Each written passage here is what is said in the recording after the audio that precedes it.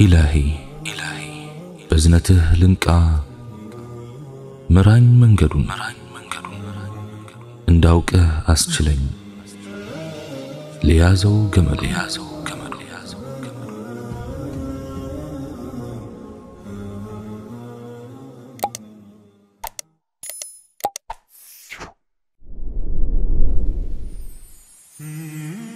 بسم الله اللهم لك الحمد كما ينبغي لجلال وجهك وعظيم سلطانك. والصلاة والسلام على حبيبنا رسول الله وعلى آله وصحبه ومواله. السلام عليكم ورحمة الله وبركاته. الله سبحانه وتعالى بتكبر وقرآن من الله. أعوذ بالله من الشيطان الرجيم. وللآخرة خير لك من الأولى. ما شايتم ألم؟ ከመጀመሪያይቱ ይልቅ ላንተ በላጭ ናት። ሱረቱ ዱሓ አንቀጽ አራት አላህ ከላይ ያለውን አንቀጽ ከተናገረ በኋላ የነቢዩን ዓለይሂ ሰላቱ ወሰላም የጅማሮ ሕይወትን ከሚቀጥለው የሕይወት ገጽታቸው ጋር እያስተሳሰረ መጥቀሱ በጣም ብዙ ነገር እንድንማርበት ይመስላል።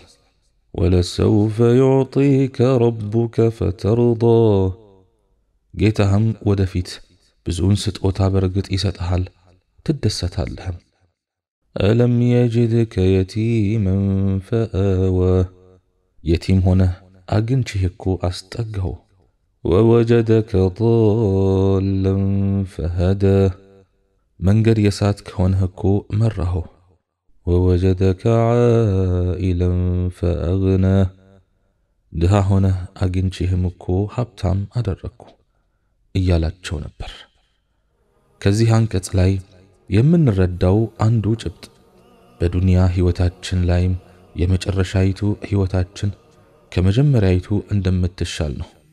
የዱንያ ፈተናዋ ብዙ ነው። ሕይወት ምሳሌዋ ልክ ደስ እንደሚል የታሪክ መጽሐፍም ናት። እስከ መጨረሻው በትዕግሥት ማንበብ ግድ ይላል።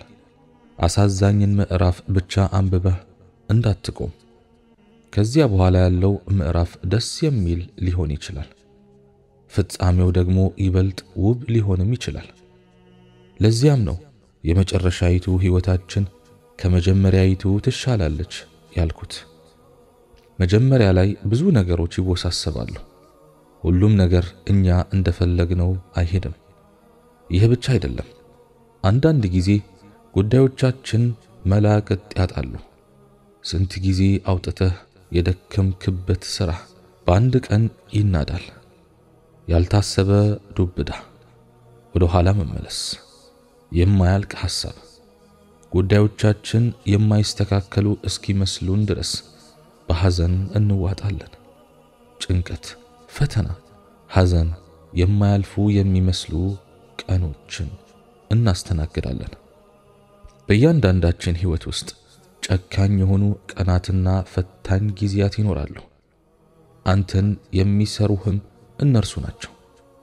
በየትኛውም ከባድ የሕይወት አጋጣሚ ውስጥ ስታልፍ ትልቅ ትምህርት ትማራለህ። ትምህርቱ ደግሞ አንተን ይቀይርሃል። ቢያንስ ቢያንስ ሁሉም ነገር ያልፋል የሚል የሕይወት እውነትን ትረዳለህ። አሁን ያለህበት የመጀመሪያው ሕይወት ሁሉም ነገር ያልፋል መጨረሻው ግን ውብ ይሆናል የሚል ቃል ከዚህ አንቀጽ እንመዛለን። ወለልአኺረቱ ኸይሩን ለከ ሚነል መጨረሻይቱም ዓለም ከመጀመሪያይቱ ይልቅ ላንተ በላጭ ናት። ጀነትን ስናስብ ከብዙ ነገሮች ሰብር እናደርጋለን። በርካታ ጉዳዮች ላይም እንታገሳለን። ጀነት ዱንያ ላጣናቸው ነገሮች ሁሉ መካሻችን ናት። ዱንያ ላይ ተመኝተን ያላገኘናቸውን ነገሮች እዚያ እንካሳለን። ለማየት ያልታደልናቸውን ደጋጎች እናገኛለን። ሳናይ የወደድናቸውን ሰዎች እናገኛለን። ሳንሰናበታቸው ዱንያን የለቀቁ ወዳጆቻችን እናገኛለን። በጀነት ናፍቆታችን ይበርዳል። ህመማችን ይጠፋል፣ ጉዳታችን ይካሳል ኢንሻአላህ። ሁሌም መርሳት የሌለብኝን አንድ ነገር ለኔም ለናንተም ላስታውስ። ዱንያ ከማስበውና ከምታስቡት በላይ የድካም አገር ናት። አላህም እሱን እስከምናገኘው ድረስ እንደምንደክም ነግሮናል። ስለዚህም እኛም ይህች ሀገር አድካሚ መሆኗን አውቀን ባህሪዋን ተገንዝበን ልንኖራት ይገባል። በእሷ ላይ እስካሉ ድረስ እረፍት አይታሰብም። ወደ ውሃ ተገብቶ ቀዘቀዘኝ አይባልም። ዱንያ በአንድ ብቻ ሳይሆን በብዙ ነገር ታደክማለች። በኑሮ ራሳችንን ለመለወጥ በምናደርገው ጥረት ታደክመናለች። በኢማን ለመሻሻል በምናደርገው ትግል ታደክመናለች። በትምህርት ለማደግ፣ በስነ ምግባር ከፍ ለማለት እነኚህ ሁሉ በነፃ የሚገኙ አይደሉም፣ ያደክማሉ። ድካሙ ደግሞ የአንድ ሰሞን ብቻ አይደለም፣ የዕድሜ ልክ ነው። የሰው ልጅ ሆይ እንግዲያውስ ቁርጥህን እወቅ። ዱንያ ላይ እስካሉ ድረስ ምንም እረፍት የለም።